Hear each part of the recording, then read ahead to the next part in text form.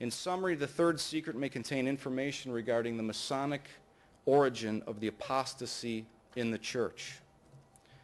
And if Masons were controlling the church, they would be bound to suppress the third secret.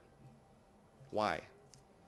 Because it would alert the faithful to the crisis that they caused and the means by which they caused it. It would point the finger directly at them. And since their goal is the complete destruction of the Catholic Church, they won't be allowed, the evil forces of Masonry are pressing for it to remain suppressed. Of course, since we know that the church can never be destroyed based on our Lord's promises, this will never happen. The secret will be revealed and the consecration will be effected.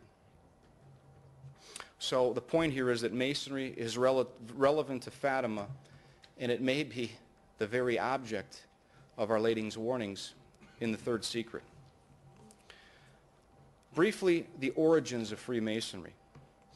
Evidence is that Jews, Russian Jews, created Freemasonry to subvert and mock, the religion of Jesus Christ. And there are many elements of Judaism in Masonic ritual. For example, the Mosaic laws mentioned, the King Solomon's temple, the Sanctorum, Sanctum Sanctorum, and so forth.